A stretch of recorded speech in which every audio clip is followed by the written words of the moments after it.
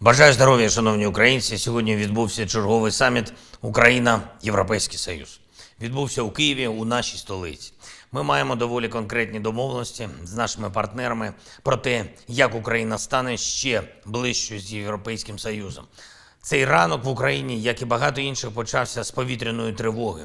Цей день, як і багато інших, минув у надзвичайно жорстоких боях на фронті. Але все одно цим вечором можна сказати, що Україна йде до своєї мети. Ми зберегли українську свободу, ми захищаємо цінності України, і ми досягнемо цілей нашої держави, європейських цілей нашої держави.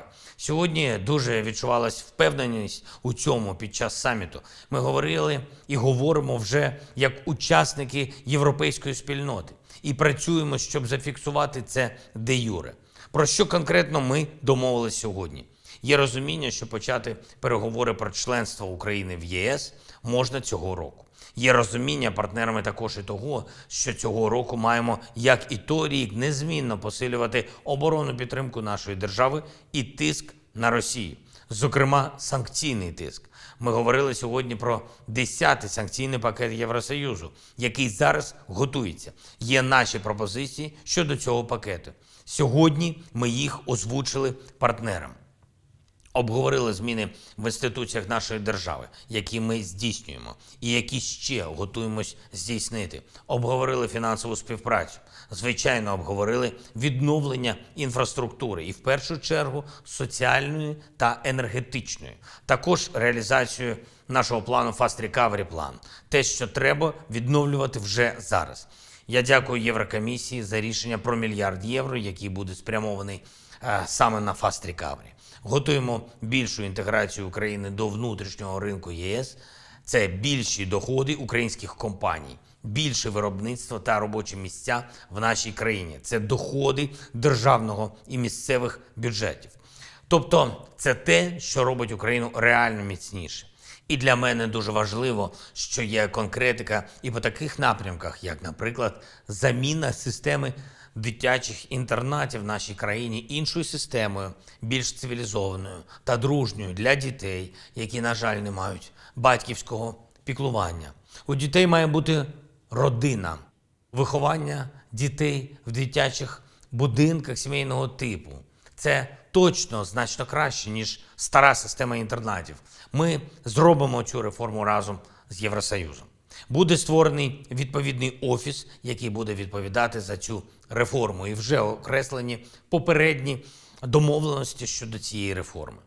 Я вже звітував про різні домовленості щодо нашої формули миру.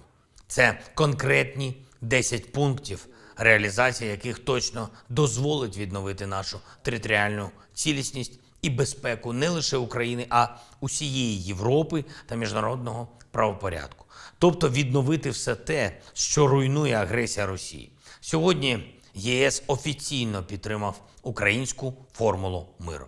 Це зафіксовано у підсумковій заяві саміту. І ми домовились про конкретну допомогу з боку ЄС в реалізації нашої формули миру. Це вагомий дипломатичний здобуток. І ми робимо все, щоб агресія Росії стала самовбивчою для неї. Ситуація на фронті залишається дуже тяжкою, особливо на Донецькому напрямку. Я дякую всім нашим воїнам, які витримують жорсткий тиск окупанта, які чітко і повно виконують завдання по захисту наших позицій, і які навіть у таких тяжких умовах, які на передовій зараз дають Україні хороші новини.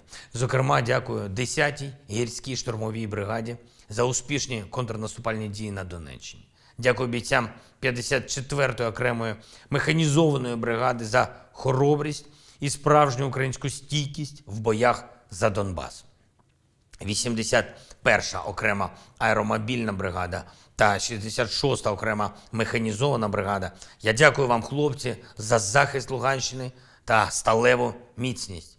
І окремо хочу відзначити наших нацгвардійців, третю бригаду оперативного призначення Нацгвардії, хлопців, які успішно мінусують ворожу авіацію на Донеччині. Дякую вам.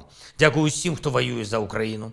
Дякую кожному і кожній, хто допомагає нам захищатись від окупанта. Дякую всім, хто посилює наші міжнародні позиції і допомагає отримувати зброю для України. Сьогодні ж говорив у Києві з міністром оборони Польщі. Він разом з іншими партнерами та міністром оборони України взяли участь вже у третій зустрічі держав-учасниць нашої танкової коаліції. Робимо все для якнайшвидшого отримання нашими воїнами сучасних танків. І сьогодні ж Сполучені Штати Америки оголосили про черговий великий пакет оборонної підтримки для нашої держави. Я дякую президенту Байдену, усім друзям свободи в Конгресі і кожному американцю за цю відчутну підтримку. Тепер разом маємо працювати над максимально швидким постачанням цієї допомоги в Україну. І ще одне є чергові санкційні рішення Ради національної безпеки і оборони нашої держави щодо тих, хто працює на російську агресію. Відповідні укази про введення в дію рішень РНБО вже підготовлені. Я окремо дякую співробітникам СБУ, ДБР, Національної поліції, Офісу Генпрокурора за нові кроки по відновленню справедливості після дій від тих, хто не зрозумів, що на державних посадах працювати треба лише на інтереси держави. Слава Україні!